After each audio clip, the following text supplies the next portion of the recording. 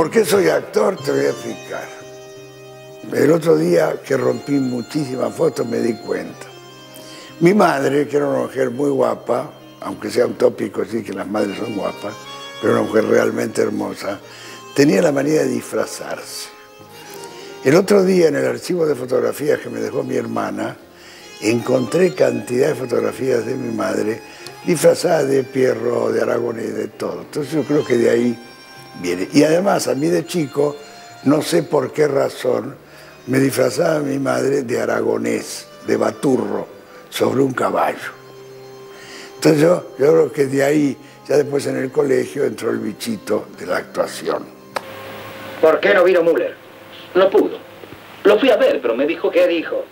que se sentía mal, que no, ¿Que no qué? que no iba a servir para un asunto como el del domingo. ¿Se asustó ese? No, Berger, no. Es un buen tipo, Müller. A mí me molesta la gente que se asusta de pronto.